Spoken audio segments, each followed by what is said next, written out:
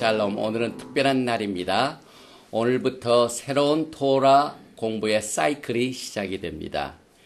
처음 우리가 공부하는 토라의 말씀은 베레시트 창세기 1장 1절부터 6장 8절까지의 말씀을 우리가 오늘부터 시작이 되는데 특별히 오늘 토라 파라샤 첫 번 공부하는 이 베레시트 태초의 이 말씀의 주제는 야하웨 하나님의 7천년 계획과 또 창세 전부터 죽임을 당하신 어린 양. 특별히 요한계시록 13장 8절의 계시의 말씀을 통하여 우리는 오늘부터 시작되는 야외 하나님께서 엘로임 하나님께서 태초에 천지를 창조하셨지만은 구속의 계획을 위하여 죽임을 당하신 어린 양은 창세 전부터 죽임을 당했다는 계시를 받게 됩니다. 그래서 토라를 열심히 그동안 공부해 왔던 이 라비닉 유다주의는 이 비밀을 알지 못합니다. 그러나 오늘 처음 장세의 사건을 다루고 있는 이 토라 파라샤 베레시트에서는 장세 전부터 죽임을 당하신 어린 양의 구속의 사역을 우리가 감사드리면서 특별히 말키 제덱의 기름 부으심을 통하여 오늘 이 토라 공부를 시작합니다.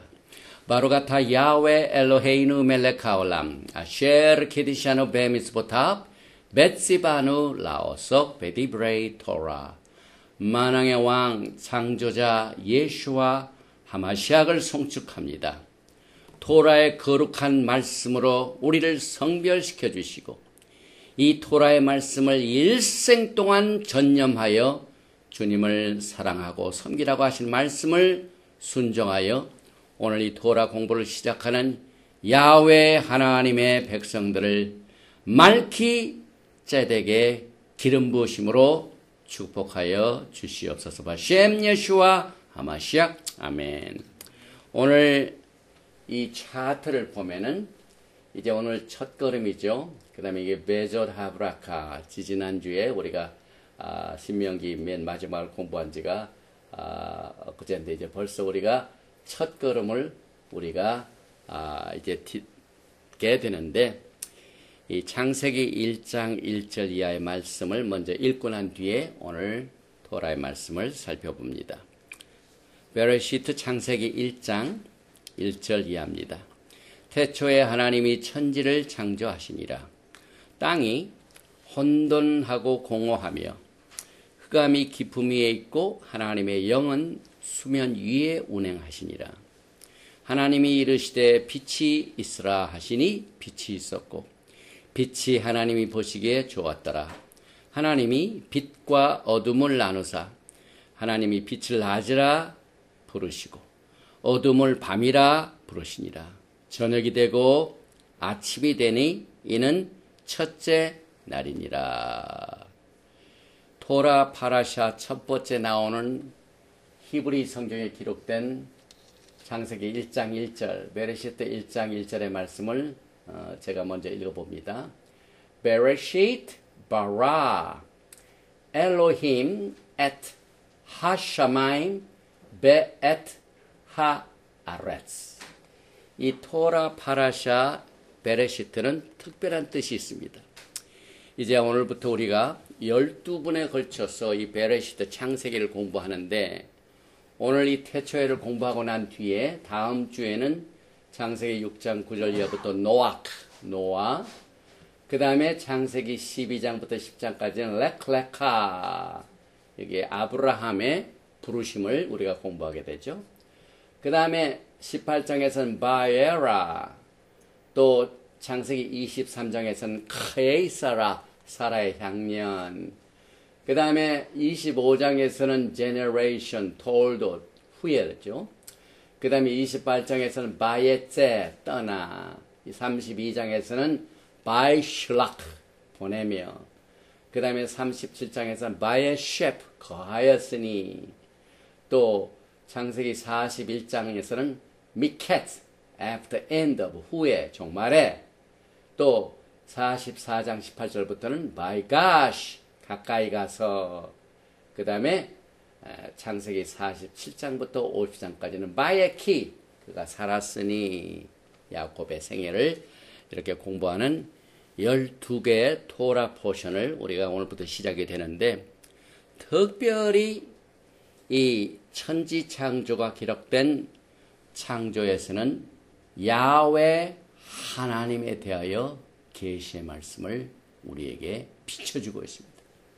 첫 번째로 그의 호크마 그의 지혜가 얼마나 정말 깊고 깊은지 그의 능력이 얼마나 위대한지를 우리가 오늘 이 토라 파라샤 베레시에트에서 공부를 합니다. 그래서 욥기 28장 23절을 보니까 하나님이 그 길을 아시며 있는 곳을 아시나니 이는 그가 땅 끝까지 감찰하시며 온 천하를 살피시며 바람의 무게를 정하시며 물의 분량을 정하시며 비 내리는 법칙을 정하시고 비 구름의 길과 우레의 법칙을 만드셨음이니라.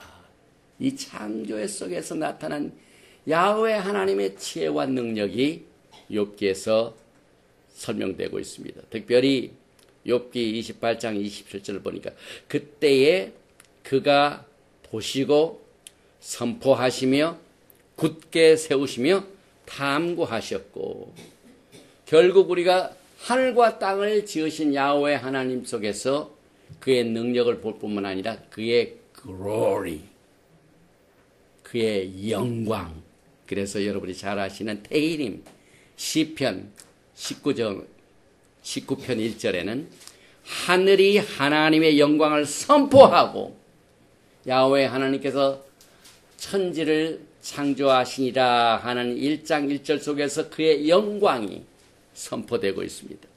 그래서 궁창이 그의 손으로 하신 일을 나타내는 것. 창조 속에서 창조물도 중요하지만은 창조자 하나님이 나타나고 있습니다. 그래서 우리는 이 공부를 통하여 야훼 하나님, 그 다음에 창조자 예수와 하마시아의 영광과 그의 능력과 그의 지혜를 배워야만 됩니다. 그래서 사도 바울이 로마서 1장 18절에서 그의 영원하신 능력과 신성이 그가 만드신 만물에 분명히 보여 알려졌습니다. 믿지 않은 사람도 야훼 하나님을 볼 수 있도록 이 창조를 통하여 그의 능력과 신성을 나타내 주셨습니다. 그럴 뿐만 아니라 야훼 하나님께서는 천지를 창조하시고 난 뒤에 조금 전에 욥기 속에서 물의 무게를 다루시고 이 모든 것을 매네지를 하십니다. 특별히 그가 지으신 인간을 사랑하시고 돌보시는 일도 이 창조 속에서 우리가 배우게 됩니다. 시편 8편 3절 이하에 정말 얼마나 생생하게 우리가 이 창세기에 대한 내용을 이렇게 묘사하고 있는지 모릅니다.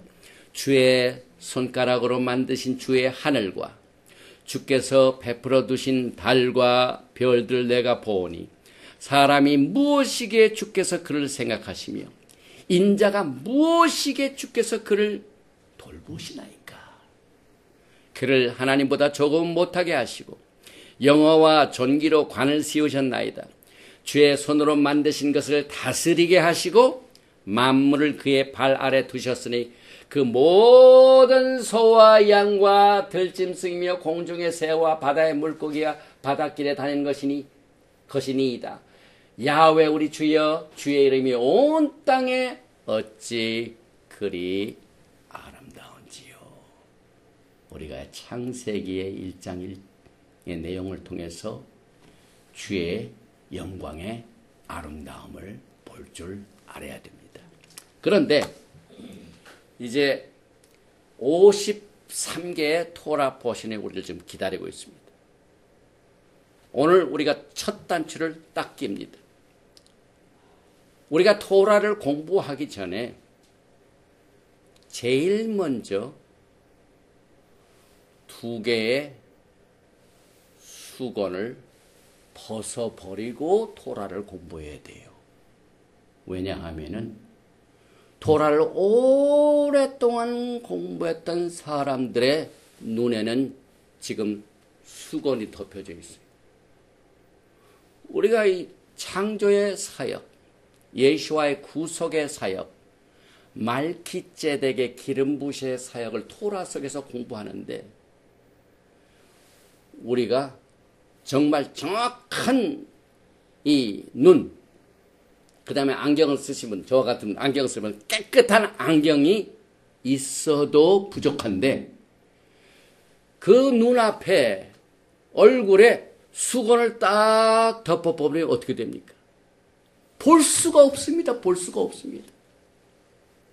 그래서 오늘 이 베레시트를 공부하기 전에 두 개의 수건을 오늘 청소하고 시작을 해야 됩니다. 그게 무슨 말입니까? 고린도 후서 3장 13절에 토라의 아주 능한 사도 바울이 예수와를 만나고 난 뒤에 그의 얼굴에도 그동안 수건이 덮여져서 예수를 알지 못했는데 예수를 알고 난 뒤에는 그가 토라를 다시 보게 됩니다. 그래서 이 젠타일 고린도 교회 성도들에게 편지를 써서 특별히 고린도 후서 3장 13절 이하에 제가 말씀드린 두 개의 수건을 벗어버리라 하고 전해주고 있습니다. 우리는 모세가 이스라엘 자손들에게 장차 없어질 것의 결국을 주목하지 못하게 하려고 토라를 공부하는 사람들이 장차 미래에 없어질 것의 끝에만 주목을 합니다. 앞으로 나타날 것을 주목을 해야 되는데 중간에 없어질 것에만 너무 주목을 하기 때문에 주목하지 못하게 하려고 수건을 그의 얼굴에 쓴 것 같이 아니하노라. 그러나 그들의 마음이 완과해 오늘까지도 구약을 읽을 때에 오늘 우리가 토라를 공부합니다. 트낙을 공부합니다. 토라를 공부할 적에 토라를 읽을 때에 그 수건이 벗겨지지 아니하고 있으니 지금 이 시간에도 토라를 공부하는 사람들 가운데 수건을 그대로 쓰고 있는 사람들이 너무 많다 이 말이에요. 그 수건은 그리스도 안에서 없어질 것이라. 이건 심각한 내용인데요. 도라를 그렇게 오랫동안 열심히 공부해 왔는데 그리스도 안에 들어오지 아니하면은 이 수건이 벗어지지 않아요. 그래서 토라를 공부하는 사람들 가운데 두 가지의 수건이 있습니다. 제가 그동안 이 말키지대 관점에서 토라를 공부하면서 우리가 가는 길이 굉장히 좁은 길이라고 했습니다.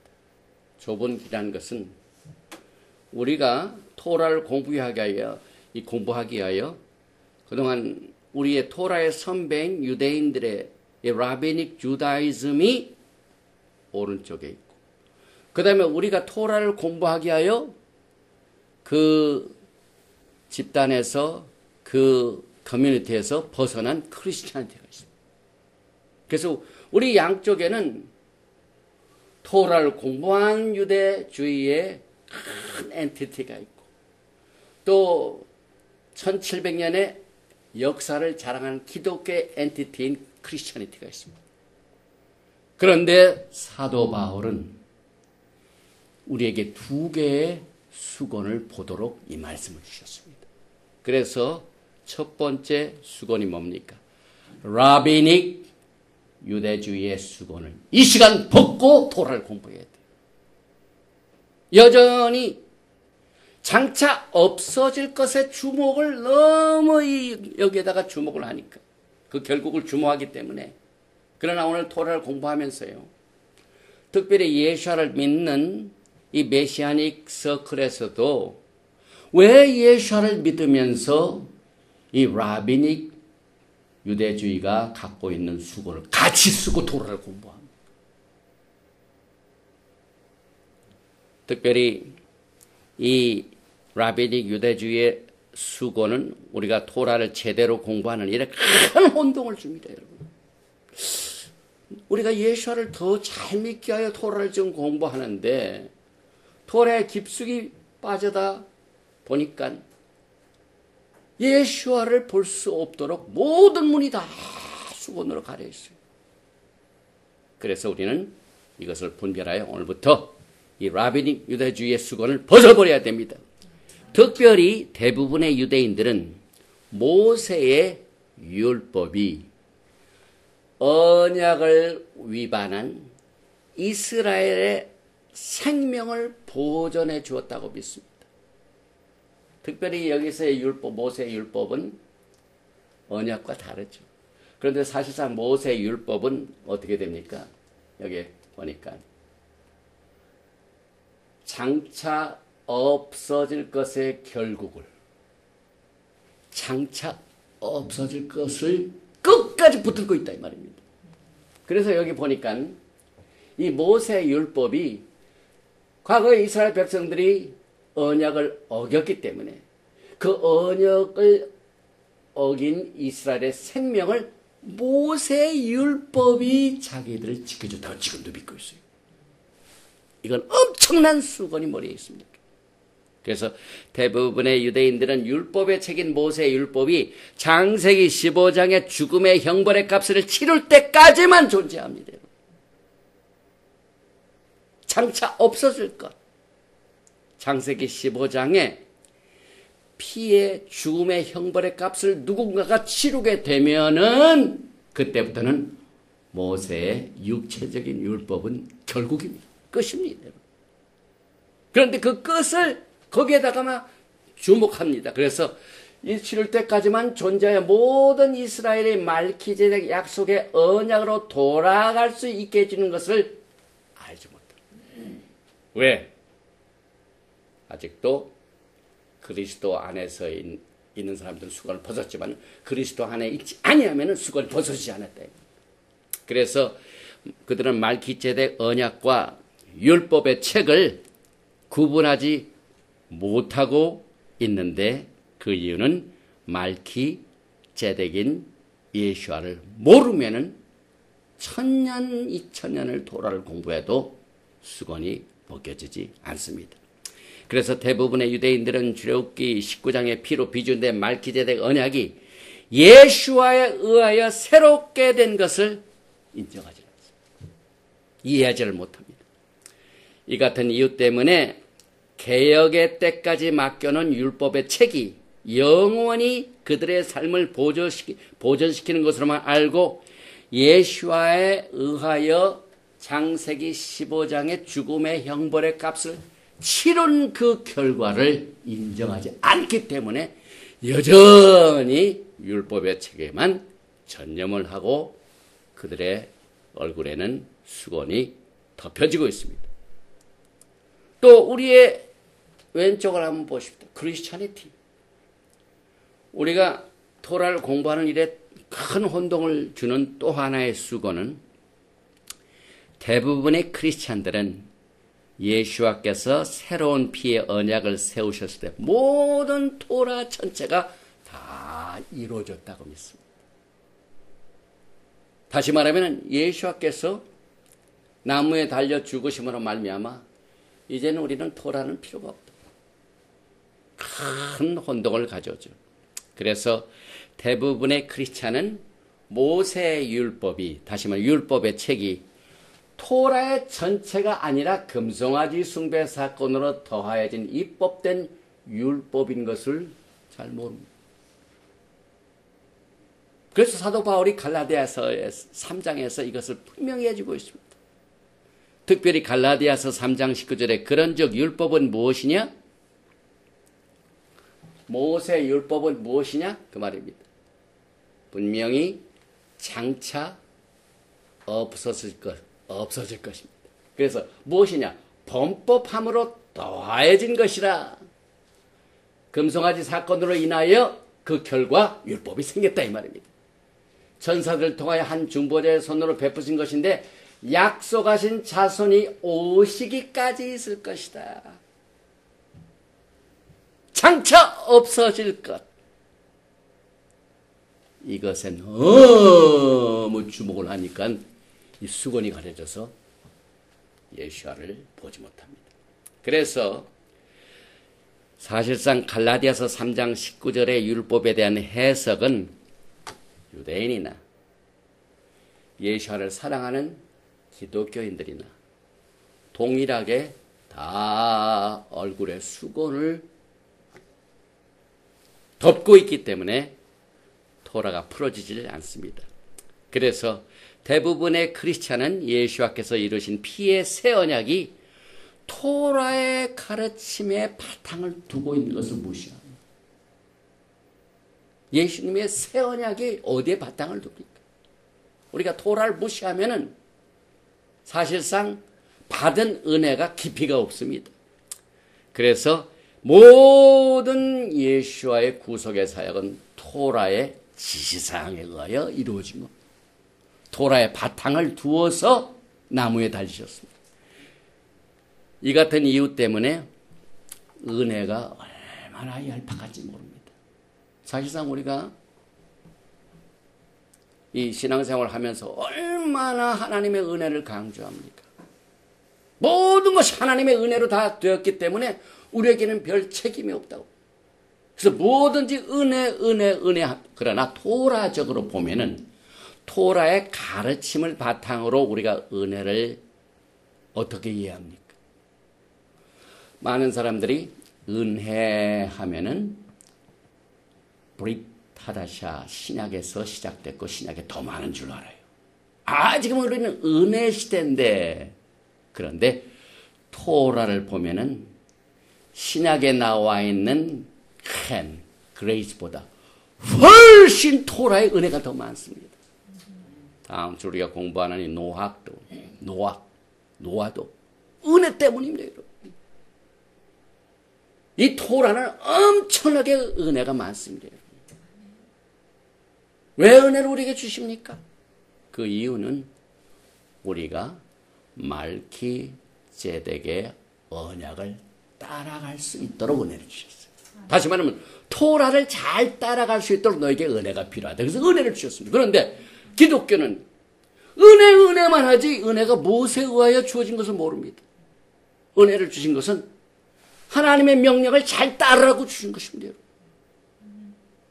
그래서 새 언약은 돌판에 주지 아니하고 우리의 심령에 주십니다. 왜? 성령의 사역의 마지막 때 역사가 뭡니까? 토라의 언약을 잘 지킴으로 주님을 사랑하고 섬기며 주님을 기다릴 수 있도록 은혜를 베풀어 주셨어요. 그래서 우리는 토라에 계시된 언약의 지시상을 알지 못하고는 하나님의 은혜를 우리가 잘 이해하지 못합니다. 그래서 수고는 유대인이나 크리스천이나 그들의 심령과 마음이 야하웨 약속의 언약으로 향하고 약속의 언약의 지시상 토라를 딸 때까지 그대로 있습니다. 예배소서 2장 12절에 그때 너희는 그리스도 밖에 있었고 이스라엘 나라 밖의 사람이라 약속의 언약들에 대하여는 외인이요 세상에서 소망이 없고 하나님도 없는 자이더니 이제는 전에 멀리 있던 너희가 그리스도 예수 안에서 그리스도의 피로 가까워졌느니라. 저는 이 말씀을 오늘 토라 파라시를 처음 보면서요. 처음 시작하면서 여기에 보니까 특별히 예배소서 2장 15절에 법조문으로 된 계명의 율법, 율법의 책이죠. 언약의 책이 아닙니다. 계명의 율법을 폐하셨으니 이는 이 둘로 자기 안에서 한 세 사람을 지어 화평하게 하시고 이 말씀을 우리가 자세히 연구해 보면은요.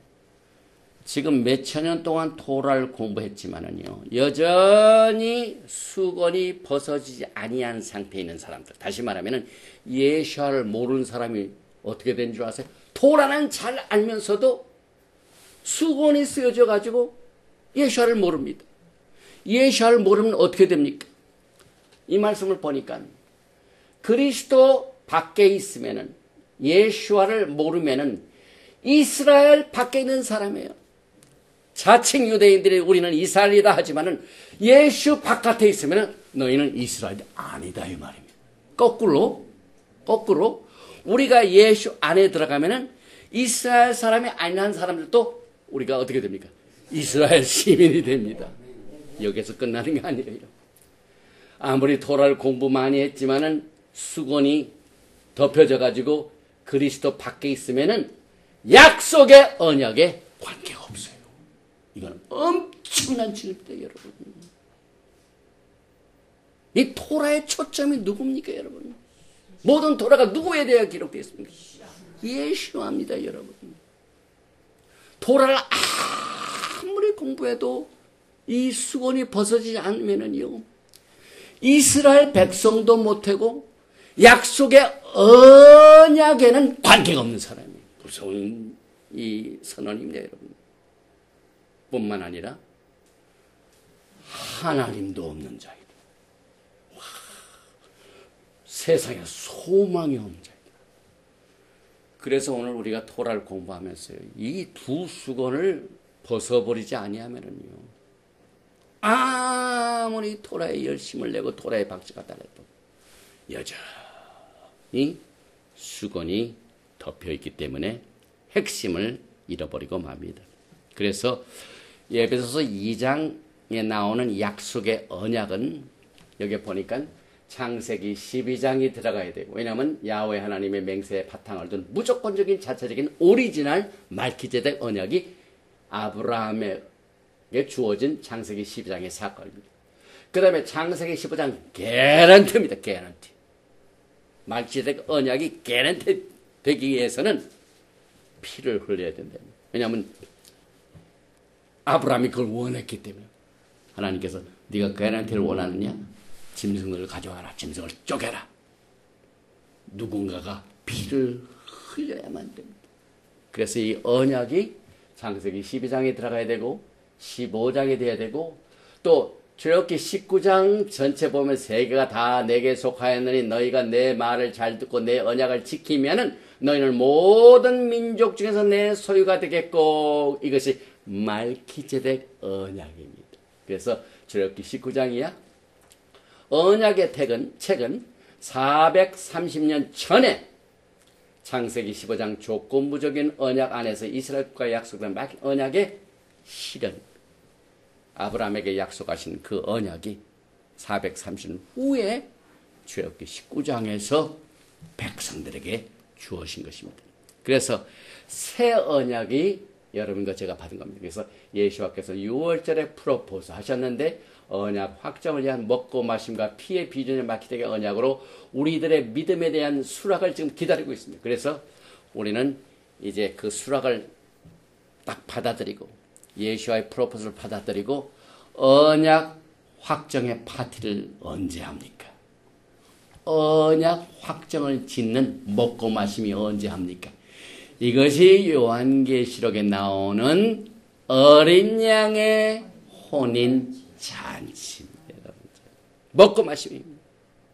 그래서 우리가 이 토라의 기초, 그 다음에 수거를 벗어버리지 아니하면은 토라를 공부해도요, 어디가 어디 있는 줄 모릅니다. 위치가 뚜렷하지 않습니다. 오늘날 우리가 살고 있는 이 시대에 우리의 위치가 정확하게 나타납니다. 여러분이 가지고 있는 모든 이 스마트폰 속에 딱 켜보면 지구상에 내가 있는 위치가 딱 나와요. 이 세상의 과학도 이것을 하물며 영원 세계 야외 하나님의 영적인 세계에서 여러분과 저의 위치가 이 토라 속에서 계시되고 있는 것을 이 덮여진 수건 때문에 알지 못하고 토라를 공부하면 얼마나 이것이 큰 어, 화를 우리에게 가져다 줍니까? 우리는 이제 어린 양의 혼인 언약의 잔치를 기다리고 있습니다. 그래서 계시록 19장 7절에 우리가 즐거워하고 크게 기뻐하며 그에게 영광을 돌리세 어린 양의 혼인 희약이 이록 이것은 어린 양의 혼인 언약입니다. 언약 우리가 예수 안에 있으면 언약 안에 있고 이스라엘 밖, 밖에 있는 사람이 이스라엘 안으로 들고 그런데 이 언약이 이제 어떻게 됩니까? 계시록 3장 20절에 볼지어다 내가 문 밖에 서서 두드리노니 누구든지 내 음성을 듣고 문을 열면 내가 그에게로 들어가 들어가서 뭘 합니까? 그와 더불어 먹고 그는 나에 더불어 먹으리. 이게 뭡니까? 아, 그냥 예수께서 신부를 데려다가 기뻐하고 즐거워해가지고 음식을 나누시나 보다 생각하지만 이것이 언약을 아는, 말기제덱의 언약을 아는 사람들은 이 언약의 단계 중에서 맨 마지막 언약 확정을 짓는 먹고 마심이 여기에 기록이 되어 있습니다. 그래서 우리는 계시록 19장 7절에는 어린 양의 혼인이고 2절 후에 계시록 19장 9절에 천사가 내게 말하기를 기록하라. 어린 양의 뭐라고요? 혼인 잔치. 어린 양의 혼인 기약 언약과 어린 양의 혼인 잔치가 같이 붙어 있다. 이 혼인 잔치를 하고 난 뒤에 언약이 확정이 된다 이 말이에요. 그래서 이것을 좀 더 공부하시는 원하는 분들은 출애굽 19장에서 24장 내에 그 모든 절차가 함축되어 있습니다. 그래서 이 모든 이 말키제덱 언약은 부르심에서 우리가 듣고 우리가 그대로 행하겠나이다 하고 우리가 예수에게 마음을 드린 이것으로 이루어집니다. 그래서 이 음성 여기 보니까 천사가 내게 말하기를 기록하라 어린 양의 혼인잔치 청함을 받은 자들은 복이 도다 하고 여기에 이 부르심의 음성에 응한 사람이 복된 사람인데 여기 보니까 음성은 그 언약과 연결이 되어 있습니다. 하나님의 음성 하면은 언약.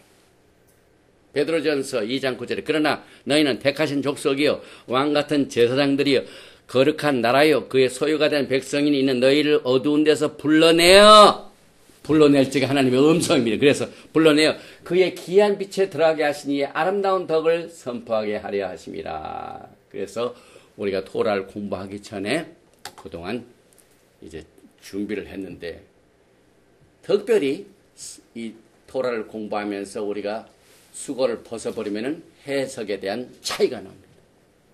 정통파 유대인들이 공부하는 토라 해석하고 말키제덱 예수와의 언약의 토라를 우리들하고 해석이 다릅니다. 왜냐하면 모든 성경 전체는 오늘부터 시작되는 새로운 사이클의 장세기부터 요한계시록까지 모든 성경 전체는 초점이 예수합니다, 여러분. 그래서 예수와께서 누가복음 24장 44절에 또 이르시되 내가 너희와 함께 있을 때 너에게 말 안 받고 모세의 율법과 선지자의 글과 시편에 나를 가리켜 기록된 모든 것이 이루어져야 하리라 한 말이 이것이라 하시고 그래서 지금 토라를 오늘부터 다 전 세계에 있는 토라 이 커뮤니티에서 토라를 베르시트를 공부합니다. 그런데 예수께서 하신 말씀이 모세 토라와 선지자의 글과 시편에 나를 가리켜 기록된 모든 것이 이루어져야 이것을 모르면 아무 소용이 없습니다. 시편 40편에도 인용된 말씀이 나오죠. 이 시편 40편에 인용된 7절에 그때 내가 말하기를 내가 왔나이다. 나를 가리켜 기록한 것이 두루마리 책에 있나이다. 이 정통파 유대인들은 태이름 시편 40편을 어떻게 해석한지 모르겠어요. 어떻게 해석할지 모르겠어요. 또 여러분과 저는 갈라디아서 우리가 아까 갈라디아서의 율법이 무엇이냐? 범법함으로 더해진 것이라. 약속의 자손이 오실 때까지 간직한 것이라. 결국 있습니다. 이거 갈라디아에서 나온 말이죠. 그런데 여러분들은 또 히브리서 말씀을 또 여러분과 저에게 말기제되게 기름 부으심을 주셨어요. 수건이 벗어지지 않은 사람보다 훨씬 우리에게는 명확한 해석을 할 수 있도록 비전을 주셨어요. 그래서 히브리서 10장 7절도 이것이 인용이 됩니다. 예수께서 모든 토라가 나에 대해 기록된 것이다. 그래서 히브리서 10장 7절에 이에 내가 말하기를 하나님이여 보시옵소서 두루마리 책에 우리가 오늘 공부하는 모든 토라의 책이 나를 가리켜 기록한 것과 같이 하나님의 뜻을 행하러 왔나이다 하시냐 인용이 됩니다. 그러나 정통파 유대인들은 히브리서 10장 7절을 모릅니다. 그래서 여러분과 저는 이제 이 창세기를 통하여 첫 번째로 예수와에 대한 것을 제대로 알아야 돼요. 창세기 딱 하면은 예수와 이렇게 나와요. 오늘 첫 단추, 이 첫 번 시작되는 첫 사이클에 이것을 잘 해야 돼요. 그래서 예수와에 대하여 어떻게 우리가 아, 구별을 합니까? 첫째로 창조적인 말씀이 전부 예수와에 관한 겁니다. 우리가 예수와를 어떻게 합니까? 창조적인 말씀 속에서 예수가 나타납니다. 그래서 창세기 1장 3절에 하나님이 이르시되 빛이 있으라 하시니 빛이 있었고 그런데 고린도후서 4장 6절에 어두운 데 빛이 빛이라 말씀하셔서 그 하나님께서 예수와 하마시아게 얼굴에 있는 하나님의 영광을 아는 빛을 우리 마음에 비추었느니라. 창세 이 빛을 창조하신 이 빛이 우리에게 어떻게 비춰집니까? 예수와 없이는 불가능해요. 그래서 아무리 토라를 공부했지만요. 예수와가 없으면은 마음의 영광의 빛을 받지를 못합니다. 왜? 이것은 예수와 하마시아의 얼굴에 있는 하나님의 영광이 우리에게 마음속에 비춰줘야만 이것이 가능합니다. 그 다음에 이 창세기를 보면 마지막 아담이 나와요. 마지막 아담이 누굽니까? 예수와 하마시아. 그래서 고린도전서 15장 45절에 참 사도 바울이 정확하게 베레시트 오늘 우리가 공부하는 이 창세 사건을 정확하게 풀이를 해줍니다. 특별히 고린도전서 15장 45절에 기록된 바 첫사람 아담은 오늘 누구를 우리가 만납니까? 아담을 만나죠. 그러나 생명이 되었다 함과 같이 마지막 아담은 살려주는 영이 되었나니 그래서 첫 아담은 명령을 어겨가지고 죽음을 가져왔지만은 마지막 아담은 우리에게 살려주는 영을 가져. 그래서 우리가 아담을 공부할 적에 아 마지막 아담이 예수를 볼줄 알아야 돼. 이것이 말기제덱의 기름 부으십니다, 여러분. 그러나 정통과 유대인들은 이와 같은 기름 부으심이 없습니다. 여전히 얼굴에 수건이 덮여 있습니다. 그 다음에 창세기를 보면은요, 여자의 후손이 나옵니다. 사탄과의 싸움에서. 그래서 우리가 여자의 후손 하면 누구를 생각해야 됩니까? 예수. 특별히 여러분이 잘 아시는 창세기 3장 15절. 내가 너로 여자와 원수가 되게 하고 내 후손도 여자의 후손과 원수가 되게 하리니 여자의 후손은 내 머리를 상하게 할 것이요 너는 그의 발꿈치를 상하게 할 것이다. 사탄의 머리를 상하게 해가지고 죽음을 정복하신 분이 누굽니까? 예수. 그래서 창세기에는 여자의 후손으로 다 가면이 되어 있어요. 그런데 우리는 말기제덱의 기름 부으심을 통하여 빛을 보게 됩니다. 예수를 보게 됩니다. 또 아벨이죠. 아벨. 아벨, 카인 사건. 창세기 4장에 나오죠. 그런데 히브리서 11장 4절에 이렇게 비춰줍니다. 믿음으로 아벨은 가인보다 더 나은 제사를 하나님께 드림으로 의로운 자라 하시는 증거를 얻었으니 하나님이 그 예물에 대하여 증언하십니다. 그가 죽었으나 그 믿음으로써 지금도 말합니다. 예수와께서 나무에 피를 흘심으로 짜득이 의로운 자가 죽임을 당하십니다. 그런데 그 죽임 당하시 후에도 계속해서 말씀하십니다. 그래서 우리가 아벨을 볼 적에 아 그가 카인에게 왜 죽임 당했구나 하는 것을 생각하지만 우리는 뭡니까? 죽었으나 믿음으로서 지금도 말하느니라. 지금 예수와께서 여러분 것에게 말씀하십니다. 그 다음에 노아의 홍수 다음 주에 우리가 공부하죠. 특별히 노아의 홍수에서 우리가 예수를 보는 것은 베드로전서 3장 18절에 베드로가 이렇게 전해줍니다. 물은 예수와 하마시아께서 부활하심으로 말미암아 이제 너희를 구원하는 편이. 노아의 사건. 이 뭡니까?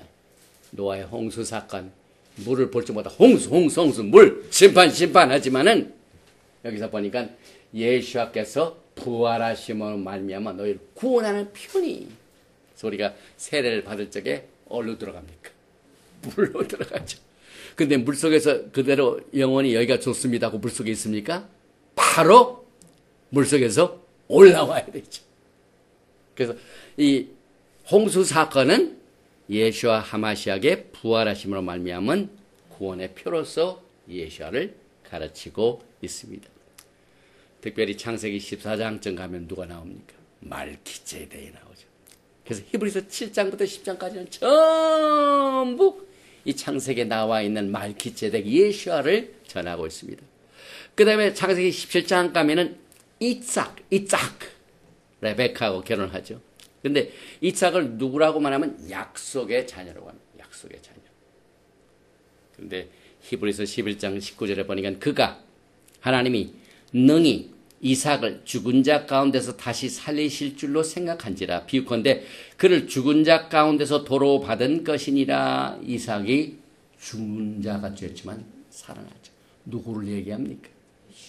예수는 약속하신 자녀이기 때문에 또 특별히 장세기 22장에 보면은 어, 그 이삭 대신에 순양이 잡힘을 당하죠. 우리는 여기에서 어린 양 예수와 하마시아를 봅니다. 요한복음 1장 29절에 이튿날 요한이 예수와께서 자기에게 나오심을 보고 이르되 보라 세상 죄를 지고는 하나님의 어린 양이로다 그래서 우리는 창세기를 통하여 하나님의 어린 양을 보고 계시록 13장 8절에 창세전에 죽임을 당하신 어린 양 그래서 구원의 시점을 우리는 창세전에 둡니다. 이것이 상당히 이 라베니 유대주의 성경 해석보다 다른 점이 그 축복이 여기에 있습니다. 두 가지만 더 합니다. 야곱의 사닥다리, 하늘과 땅을 오르락 내리락 하는 이 사역을 누가 하십니까?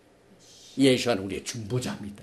그래서 야곱이 잠자다가 오르락 내리락 한 것은 우리가 예수를 거기서 봅니다. 특별히 요한복음 1장 51절에 이것을 인용합니다.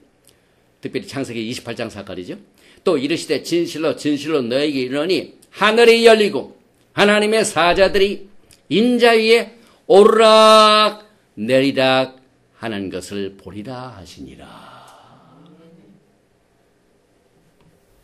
너무 많지만은 오늘 첫날이기 때문에 하나만 더 다음으로 넘어갔습니다.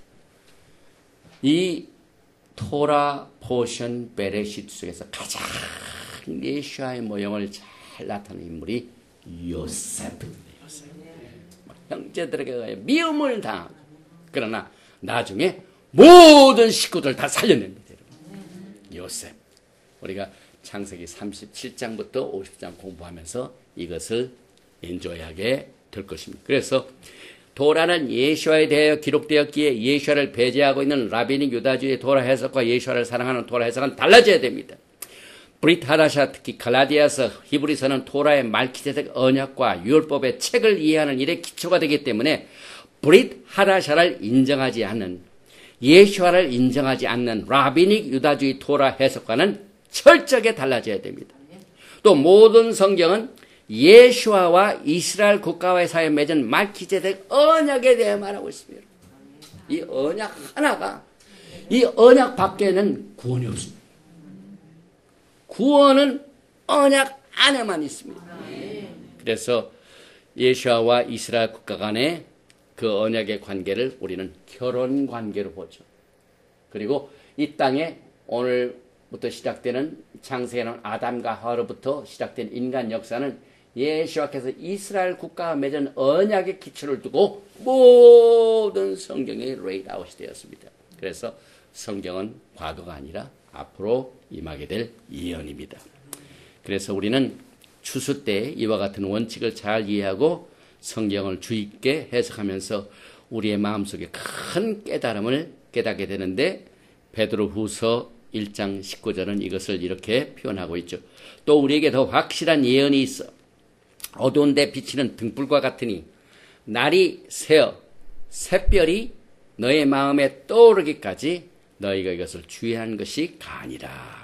그래서 오늘 제네시스 영어로는 제네시스 헬라어, 라틴어, 영어 이 제네시스를 우리가 공부하는데 영어의 제네시스의 GN 이게 굉장히 중요한 내용이에요. 왜냐하면 영어에 GN이 들어간 모든 것다 처음이에요. Generation. 그 다음에 genetic. 그 다음에 우리 gene, gene. 그 다음에 영어로 뭘 시작한다. begin, BG가 꼭 들어가죠. 그 다음에 gender. 그래서 GN 이것은 처음과 연결이 되는데 그 연결을 어떻게 하냐면 히브리 말로 GN이 뭡니까? 게모 눈 소핏 간 간이 뭡니까? 동산입니다. 에덴 동산을 우리를 인도해 주고 에덴 동산은 모든 것의 처음입니다. 시초입니다. 그래서 에덴 동산은 인간 역사의 처음을 말해주는데 오늘 우리가 이 창세기 처음에 보면은 지금 기독교에서는 샤밧을 잘 이해를 못하죠. 그런데 모든 시작의 근원이 GN으로 시작이 되는데 이 처음 시작 중에 뭐가 있냐면 첫 번 샤밧이 어디서 나옵니까? 창세기입니다, 여러분. 오늘 이 창조의 사건 속에서 샤밧이 탄생됩니다. 여러분. 그런데 어떻게 인간들이 이 샤밧을 제멋대로 옮겨 놓습니까? 이 토라의 기초가 없으면 얼마든지 종교적인 시스템은 하나님의 계획을 적당히 바꿉니다. 그래서 우리가 모든 것이 처음으로 돌아가서 이것을 살펴볼 적에 아 샤밧도 뭐 기독교가 시작하면서 바꾼 것이 아니라 창세기의 질서를 무시한 거다. 창세기 2장 1절부터 3절 처음 샤밧이 나옵니다. 그 다음에 조금 전에 동산은 모든 것이 처음이라고 그래요. 처음 동산이 음, 성경에 동산이 있는데 처음 동산이 어디서 에덴 동산 창세기에서 나옵니다. 그 다음에 처음 율법도 창세기에서 나옵니다. 미츠봇 원목에 하라 오늘 우리가 공부하는 이 베레시드 처음 율법이 뭔지를 아세요? 2장 15절. 창세기 2장 15절이 처음 율법입니다. 야외 하나님이 그 사람을 이끌어 에덴 동산에 두어 그것을 경작하며 지키게 하시고 야외 하나님이 그 자, 사람에게 명하여 이르시되 동산 각종 나무의 열매는 내가 임으로 먹되 선악을 알게 하는 나무의 열매는 먹지 말라. 이것이 미스보십니다, 여러분. 그런데 어떻게 됩니까, 인간이? 인간이 어디에서 타락합니까? 첫 번 미츠봇을 어깁니다. 처음이 틀리니까 그때부터 죄가 임합니다. 그래서 이 먹지 말라 하시고 난 뒤에 내가 먹는 날에는 반드시 죽으리라 하시니라. 이 첫 번째 나오는 이 미tzvot 때문에 인간이 타락을 합니다. 그래서 우리가 아무리 야외 하나님의 은혜 가운데 살고 있지만은 미tzvot을 무시하면은 그 은혜는 뜨는 구름밖에 안 돼. 이 미tzvot이 빠진 은혜는 끝입니다. 은혜는 하나님의 명령을 잘 지키도록 특별한 파워를 우리에게 주신 게 은혜입니다. 내 명령을 잘 지키도록 내가 너에게 힘을 주면 이것이 은혜입니다. 그런데 그 힘을 받고 난 뒤에 하나님께서 오리지널 은혜를 주신 목적인 이 mitzvot을 잘 지키라. 하나님의 말씀을 잘 쉐마 이스라엘 우리가 신앙 고백할 때 뭡니까? 이스라엘아 들으라. 음성은 언약과 관계 있습니다. 그래서 그 음성에 우리가 행하겠나이다 하면 이것이 합의가 언약입니다. 그래서 오늘 이 처음 율법도 우리가 공부하게 되고 이 세상에 결혼이 있죠. 결혼이 어디서 시작됐습니까? 결혼도 오늘 간, generation, 처음에 나옵니다. 2장 18절에서 25절에. 그래서 어, 결혼 주례할 때 가장 많이 인용되는 말씀이 뭡니까? 창세기 2장 24절에 이러므로 남자가 부모를 떠나 그의 아내와 합하여 둘이 한 몸을 이룰지로다. 아담과 그의 아내는 두 사람이 벌거벗었으나 부끄러워하지 아니하냐. 그래서 오늘 이렇게 시작된 것을 사실상 한 20분 정도를 이렇게 계획을 했는데 너무 시간이 많이 갔네요. 왜냐하면은 이게 너무 중요하기 때문에 그래서 오늘 조금 더 하겠습니다. 창세기 1장 1절에 7천년의 역사를 정리해 봅니다. 베레시트 바라 엘로임 엣 하샤마임 베엣 하아렛 처음에 보면은 1, 2, 3, 4, 5, 6, 7 처음 1장 1절에 시초는 일곱 단어로 시작이 됩니다. 그런데 이 일곱 단어 가운데 알레프가 여섯 번 나옵니다. 여섯 번 나오는 것은 여기 보니까 첫 번째 베레시트의 세 번째 글자, 바라의 세 번째 글자, 그 다음에 엘로힘의 첫 번째 글자, 에트의 첫 번째 글자, 하샤마임의 베에트의 두 번째 글자, 하아레트의 두 번째 글자. 그래서 우리는 이 일곱 창세기 1장 1절의 말씀을 메노라로 봅니다. 메노라. 메노라. 그런데 우리가 메노라를 공부할 적에 맨 가운데 있는 servant lamp가 뭡니까? 예슈아죠. 그래서 단어 한번 보십시다. 가장 가운데 있는 네 번째 오른쪽으로 하나 둘 셋, 왼쪽으로 하나 둘 셋 할 때 네 번째 글자가 알렙탑. 요한계시록에 나는 알파와 오메가요 처음과 날. 정확하게 가운데 글자가 알렙탑 예수가 나옵니다. 정통파 유대인들은 수건이 있어서 보지 못해. 예수합니다. 그런데 이 알렙탑 예수아가 네 번째 나올 뿐만 아니라 여기 보면 몇 번째 나옵니까? 여섯 번째 나옵니다. 그래서 우리는 이 네 번째는 아담이 창조한 이후부터 4천년에 예수와께서 초림하셨고 6천년에 예수와께서 재림하신다는 7천년의 하나님의 계획이 오늘 우리가 공부하는 창세기 1장 1절에 예언적으로 딱 나옵니다. 이것을 무시하면은요 모든 단추가 틀려집니다. 그래서 야외 하나님의 창조의 모든 사건을 통하여 우리는 뭘 봅니까? 종말을 봅니다. 메시아닉 시대 끝. 그래서 창조에서 메시아닉 시대 끝까지 정확하게 6천하고 하루 쉬는 7천년. 그래서 하나님께서는 종말을 저 요한계시록 마지막에 가서 종말을 구하십니까? 오늘 우리가 공부하는 베르시트 처음부터 고, 고하십니까? 네. 종말로는 처음을 잘 봐야 돼요.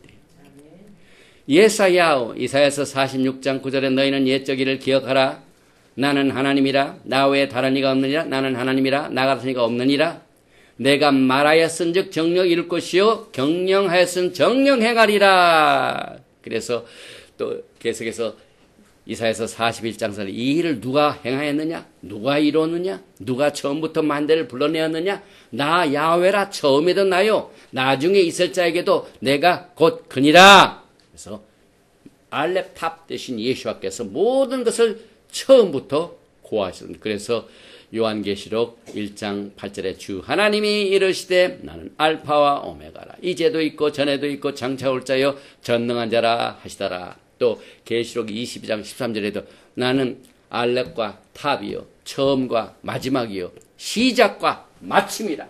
시작 창세기죠. 마침이라.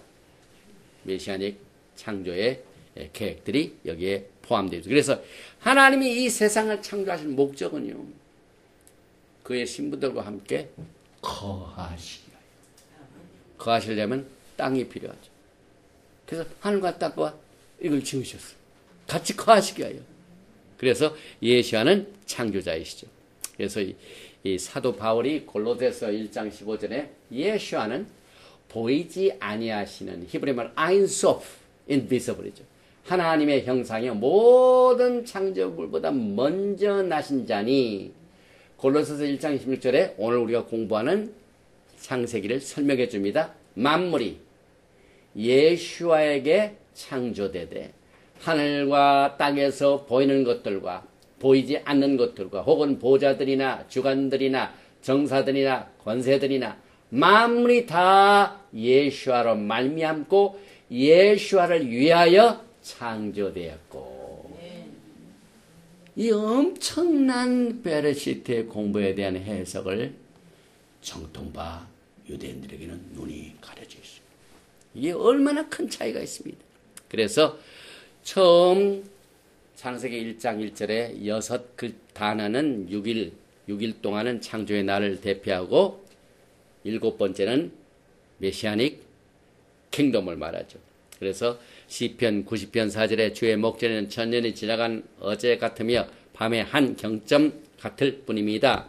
베드로우서 3장 8절에 사랑하는 자들아 주께는 하루가 천년 같고 천년이 하루 같은 이 한 가지를 잊지 말라. 그래서 창세기 1장 1절에 베레시도 바라 엘롬 에트 바에 엣 베엣 하샤마임 바엣 하에렛 요 일곱 단어 이 자체 하나가 전부 하나님의 7천년 계획을 말하고 특별히 오늘 여섯 번째, 네 번째, 여섯 번째 알렙 탑이 나오죠. 알렙 탑. 알렙. 이것은 특별한 뜻이 있는. 이 알렙은요, 세 가지의 히브리 글자로 구성이 되어 있습니다. 특별히 이 알렙 자체는 하나님을 대표하는데 왜 하나님이냐면 이 알렙을 자세히 보면은 점이 위에 하나 있고 아래 있죠. 그 다음에 가운데 작대기가 딱 있죠. 근데 히브리 글자로는 이건 요도입니다. 이것도 요도입니다. 그 다음에 바브를 살짝 옆으로 뉘어놨어요. 그래서 이건 땅인데 하늘의 연결, 땅에 연결하시는 분이 예수합니다. 그런데 우리는 여기서 끝나는 게 아니에요. 히브리 단어는 뭐가 있습니까? 숫자가 있죠. 숫자. 숫자. 그래서 알렙. 요건 요드, 바브, 요드죠. 알렙을 그렇게 씁니다. 그래서 요드는 10이죠. 바브는 6이죠. 요드는 10이죠. 총 26자 글자가 알렙의 수치입니다. 그런데 우리가 알고 있는 야하웨 하나님 은 뭡니까. 야하웨 하나님 요, 헤이, 바, 헤이. 여기 보니까 요, 헤이, 바, 헤이를 숫자로 볼 요는 10, 헤이는 5, 바브는 6, 헤이는 5. 총 뭡니까? 20입니다. 그래서 창세기 1장 1절에 알레프는 야외 하나님 예수함을 숫자로서 또 맞춰주고 있습니다. 그러니 우리는 이 토라를 공부하면서 예수와에 대하여 미쳐버려야 돼요. 예수. 나는 예수에 그냥 잡혀있는 자라. 그래야 토라가 열려요. 그래야 수건이 벗어집니다. 야외 하나님의 이름은 처음에 베레시트 바라 엘로힘 야훼가 안 나오고 엘로힘 하나님이 나옵니다. 그런데 우리는 또 야훼 하나님 부릅니다. 엘로힘 하나님은 이 세상을 창조하시는 사역에 연결된 권능의 파워를 말합니다. 엘샤다이 하나님. 이 세상을 창조하십니다. 그런데 여해바해 이 야훼 하나님은 언제 나타나면은 하나님께서 구속의 계획을 위하여 모세를 부르십니다. 그리고 모세를 부르시고 난 뒤에 야훼 하나님이 딱 명함을 하나 딱 주면서 나는 이런 사람이다 라고 명함을 주는데 그 명함에 하나님의 이름이 나와요. 그게 뭡니까? 우리가 슈모트 공부할 적에 나오죠. 슈모트 출애굽기 3장 14절에 모세가 하나님을 만나는데 하나님이 명함 딱 내놓고 무슨 내 이름은 이거다라고 뭐라고 얘기하십니까? 출애굽기 3장 14절 하나님이 모세에게 이르세 나는 스스로 있는 자이다. 또 이르시되 너는 이스라엘 자손에게 이같이 이르기를 스스로 있는 자가 나를 너에게 보내셨다 함이라. 그리고 난 뒤에 출애굽기 3장 15절에 나의 요해바에 여기 스스로 있는 자 I am who I am 이 스스로 있는데 이 이름은 영원한 이름이여 대대로 기록할 나의 칭원이다. 그래서 우리가 성경을 딱 시작할 때 엘로임 하나님 액션 파워 이 창조자 하나님과 연결된 이름이고 야훼 하나님은 구속을 위하여 사람을 만나십니다. 인간관계를 맺으실 적에 사람을 구원하실 적에 구속을 이루기 위한 야훼 하나님을 원다. 그래서 우리는 유대인들이 믿는 싱귤라 모노시즘을 안 믿습니다. 유대인들은 엘로힘 우리가 베레시트 바라 엘로힘 엘로힘이 단수가 아니라 복수입니다, 여러분. 엘로힘 하나님. 우리 오늘 베레시트 바라 엘로힘. 단수는 뭡니까? 엘로하. 엘로하가 단수고 엘로힘 복수입니다. 그런데 그들은 singular monotheism 이걸 믿습니다. 그러나 히브리 관점에서 예수를 말키제대로 믿는 사람들은 야훼 하나님이 엘로임 하나님이 singular monotheism이 아니라 plural monotheism입니다. 왜냐하면 하나님께서 천지를 지으실 적에 그 역사하시는 엔티티의 파워가 다양하시다 이 말입니다. 그래서 이 정통파 유대인들하고 우리하고 다릅니다. 그렇기 때문에 그들은 예수를 안 믿죠. 근데 우리는 예수를 믿습니다. 이 세상을 창조하시다가 막 하나님의 영이 막 순행하시며 빛이 있어라 공창이 있어라 말씀하시는 분이 있으며 프로랄 복수적인 모노 야외 하나님 오직 하나인 분이시니 에카드 우리를 믿습니다. 그래서 야외 하나님은 항상 인간과 하나님의 언약을 이루시는 구속의 사역에서 사용하는 언약의 이름이며 엘로임은 땅과 하늘을 만드시는 이와 같은 예, 관계에서 나타나신 이름입니다. 그리고 또 아담에서부터 예수아까지 우리가 베레시드 바라 엘로임 at 해서 네 번째 글자가 예수와 알렙탑 이 서번 램프인데 아담에서부터 예수아까지가 사실상 네 번째 글자. 그래서 우리는 아담 창조에서 예수아까지 4천년으로 봅니다. 4천년.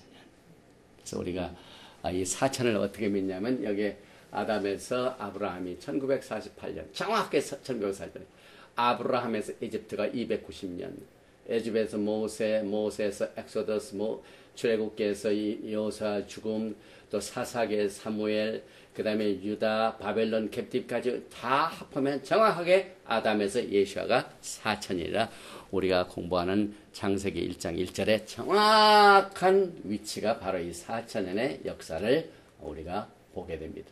그리고 어, 히브리 글자 타브는 알렙 타브가 나와요. 탑. 이 타브는 completion. 끝이다. 완성을 말합니다. 그리고 이 완성에 쓰여진 타브는 특별히 브리트 언약의 사유이네. 네. 하나님 우리 사이는 언약의 관계죠. 그래서 이 타협 자체가 우리가 언약 때문에 생명을 얻기 때문에 타협 이 진리는 생명을 말한다. 그래서 하나님의 완전을 여기에서 말하고 있습니다. 그래서 토라는 진리죠. 또 예수아는 살아계신 진리죠. 예수아께서는 살아계신 토라이시죠.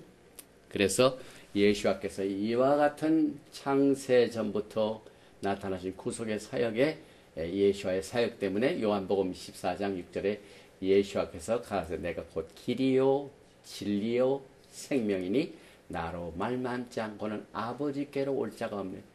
이 말씀에 바탕을 두면은요 예수를 알지 못하고 토라를 공부하면 길을 모릅니다. 토라가 진리하고 믿지만 진리를 모릅니다. 그들은 살았다 하나 죽은 자. 이게 얼마나 큰 차이입니다.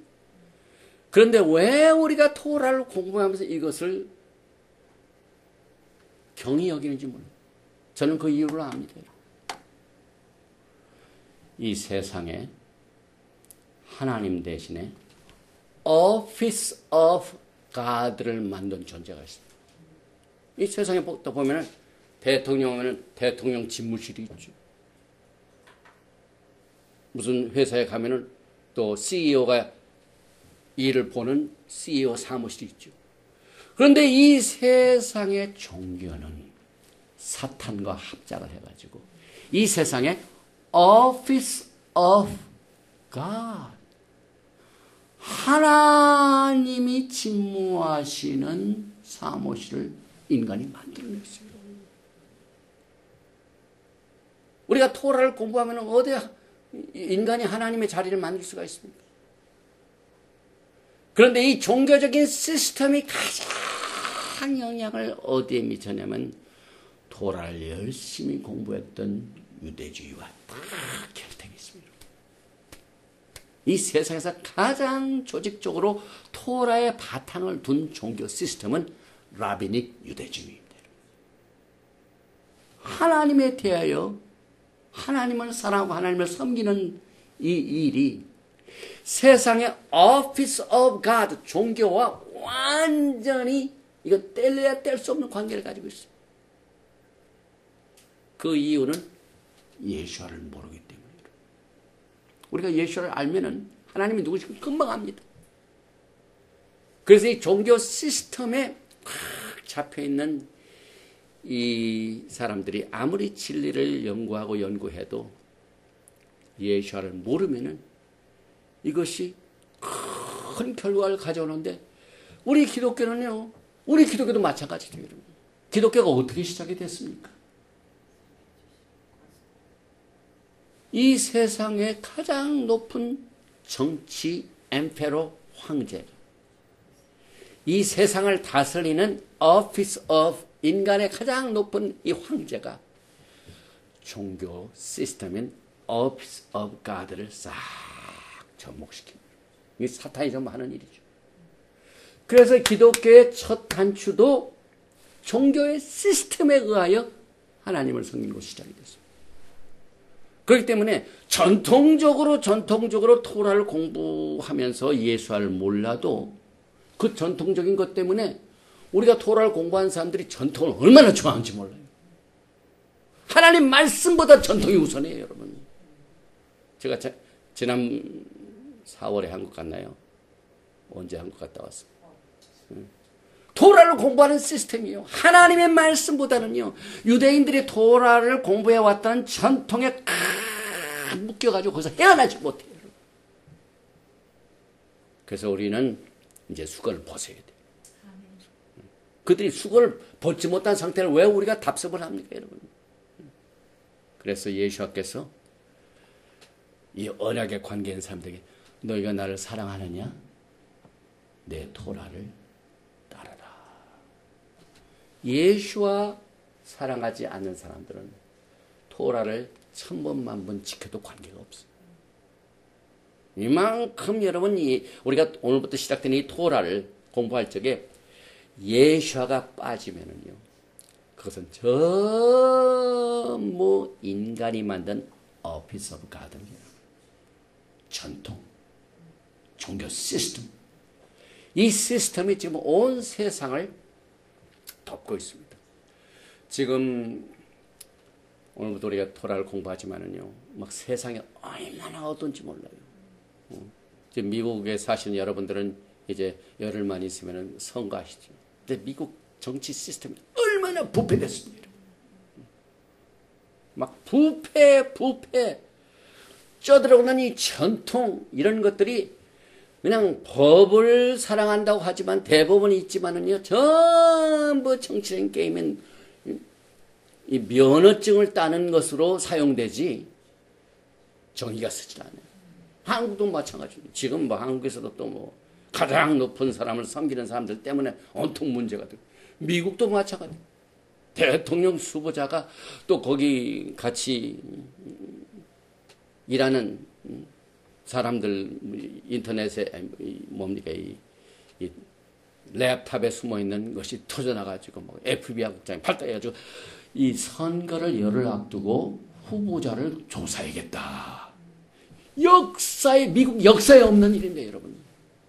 미국의 대선에 10일을 앞두고요 후보자를 크리미널 인베스팅 하겠다. 역사에 없네. 대개 60일 전에는 일체 후보자에 대하여 법적으로 뭘할 수가 없게 되어 있습니다.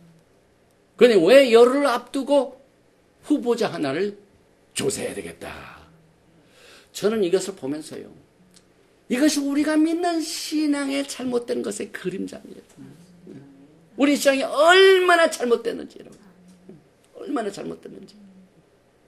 법은 있는데 그 부패를 가리는 일에 법이 사용돼. 법은 부패를 가려내야 되는데 토라의 말씀도 마찬가지예요. 토라는 하나님의 법입니다. 그 우리가 하나님의 법은 우리가 따라야 되고 순종을 해야 돼요. 그런데 이 하나님의 토라의 말씀이 내가 하나님하고 멀어지는 종교 시스템을 가리는 도구로 사용되고 있어요. 그래서 오늘 우리가 어, 공부하는 이 토라를 공부하면서요. 정말 이 수건은 벗어나야 되겠다. 특별히 우리는 지금 마지막 때 예수와 하마시아 우리의 말키제덱 대장 예수와를 만나는 설레임과 기다림으로 가르쳐 있어요. 그게 초점입니다. 그러면 토라가 예수에 대하여 말하는 것을 따라야죠. 예수는 젖혀놓고 왜 전통적인 가르침에만 우선하냐 이 말이에요. 예수가 훨씬 귀중합니다. 그런데 이 토라를 공부하는 서클이에요. 예수님과 하나님 말씀보다는 그들이 토라를 열심히 공부했던 전통과 그들의 모든 성경 해석을 우선합니다. 우선합니다. 저는 이것은 분명히 짚고 넘어가야 할 큰 이슈이기 때문에 오늘 참 시간 이외에 다른 내용들을 잘 카바를 못했지만은 예수와 한 분은 예수와 한 분만이 죄가 없으신 분입니다. 우리는 다 죄가 있는 사람입니다. 전통도 교, 교회 시스템도 뭐 어떤 모든 단체도 전부 죄덩어리. 그러나 베드로전서 2장 20절 말씀과 같이 저는 죄를 범치 아니하시고 그 입에 괴사도 없으시며 오늘 우리는 아, 이 샤반 날을 맞이해 가지고 토라를 공부하면서 지금 어떤 분은 1년 동안 공부하신 분, 2년 동안 공부하신 분, 5년 동안 공부하신 분, 다 다릅니다. 그런데 오늘 우리가 이 토라를 공부하는 이 날이 샤밧인데 이 샤밧의 첫 번 샤밧은 창조의 7일째 날이다 하는 첫 단추를 분명히 하셔야 돼요.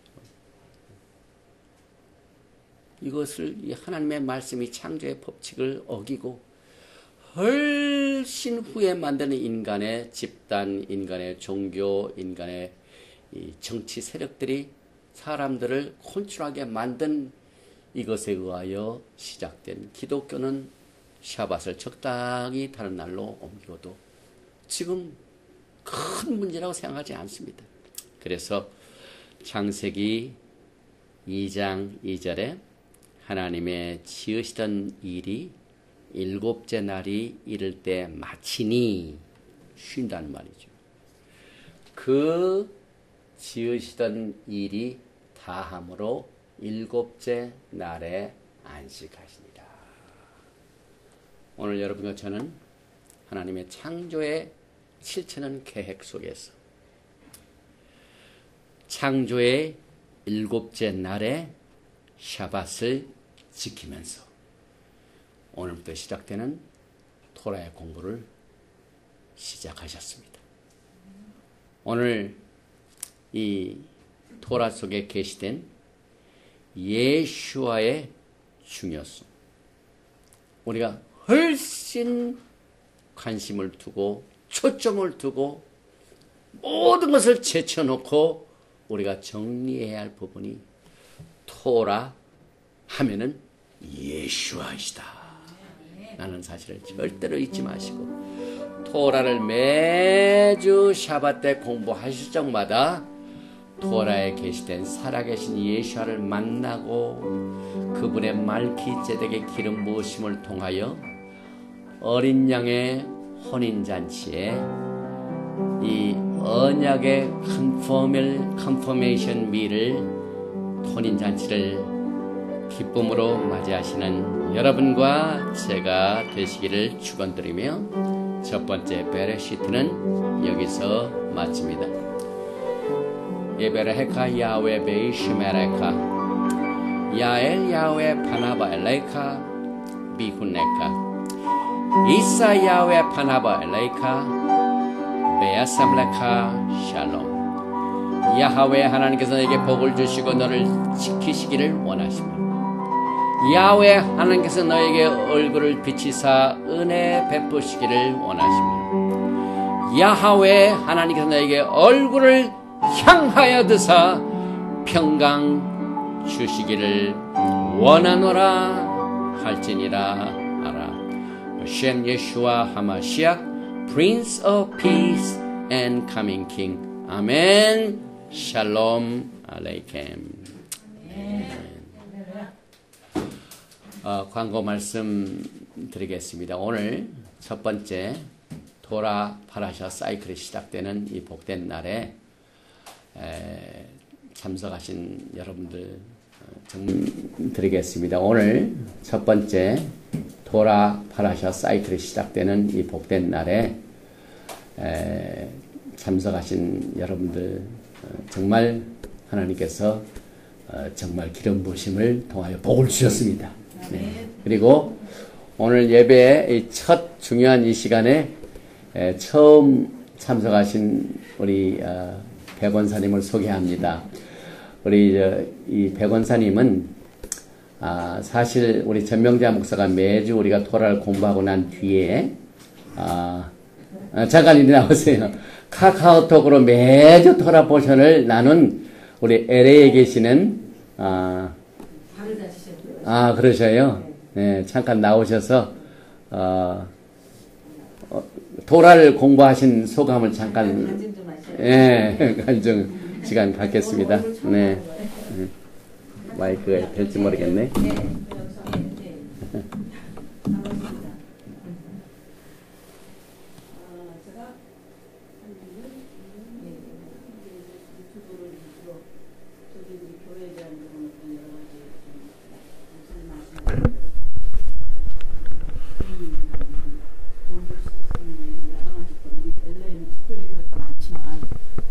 굉장히 그 정말 어 예수님의 진리의 길을 따르는 것보다 이런 어떤 시스템 속에서 자꾸만 세속화되는 그런 어떤 느낌을 받았기 때문에 제가 이제 어 유튜브를 통해서 이렇게 여러 목사님들을 이제 대하기 시작했는데 어느 날 이제 이 음, 전인근 목사님 이제 유튜브를 보기 시작한 거예요. 그런데 처음부터 보면서 제가 굉장히 빨려 들어갔어요. 왜냐? 조금 다르더라고요. 목사님 다르는데 제가 이 처음 처음 들은 게 이 태초 베레세트 이걸 들었어요. 근데 거기에 예수님의 예수님을 얘기하실 때 저는 너무 쇼킹했다고요.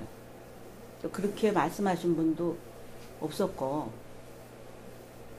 그래서 거기서부터 지금 제가 쭉 들으면서 목사님이 그 말씀하시는 그 말씀과 제가 이렇게 읽고 성경을 읽은 그 모든 그 느낌이 예수님이 중심이 된다는 거, 예수님을 결단코 빠지지 않는다는 거. 우리 왜냐면 우리가 주로 이제 설교에서 많은 사람들이 의존을 하는데 설교를 설교를 하다 보니까 자꾸만 예수님이 빠지고 딴 것들이 많이 오면서 그걸 믹스되게 우리가 먹을 때가 너무 많았거든요.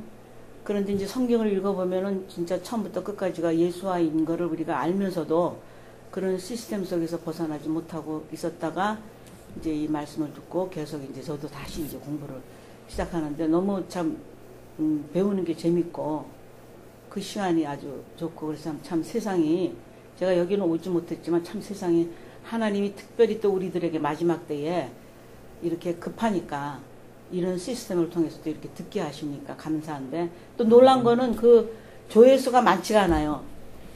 어, 저는 많을 줄 알았거든요. 그런데 이제 많이 이제 LA에서도 제가 얘기를 많이 이제 난 이제 전인구 목사님 설교 너무 좋다.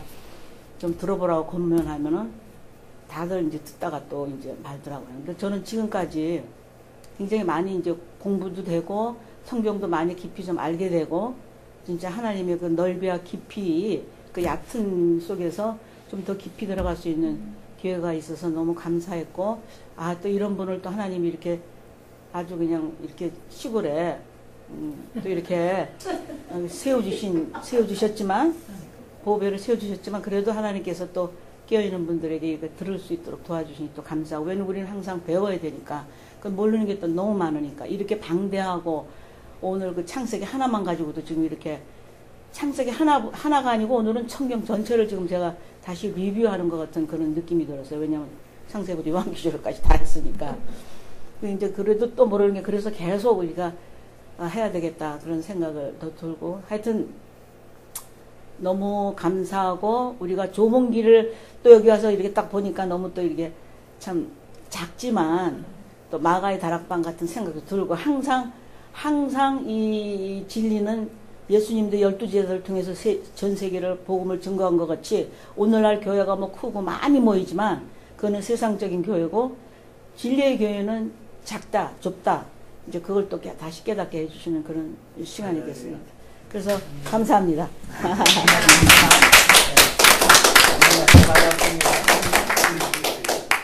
로